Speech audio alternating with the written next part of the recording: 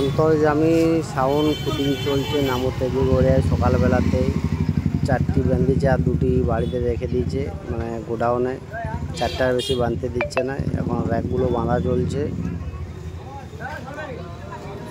তো এই সেট আপটি বিকেলবেলায় বেরোবে, যখন বাড়ি নিয়ে যাবে তখন বেরোবে। সকাল থেকে ফিটিং করে রেখে দিচ্ছে, কেন ভিড় জায়গা তো?